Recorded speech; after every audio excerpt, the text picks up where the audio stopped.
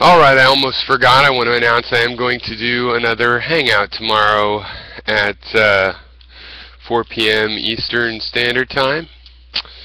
So, uh, Hythloday will not be will not be able to make it. I I heard from him. But um, the subject matter uh, is going to be symbiosis and more on freedom of the will or willpower and the related issues to that, which still involve things like uh, artificial intelligence and whatnot.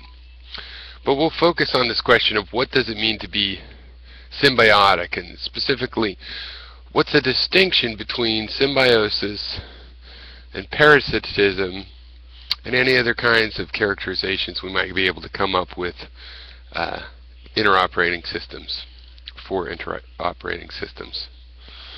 So that'll be tomorrow. Hope to see some of you there. Bye.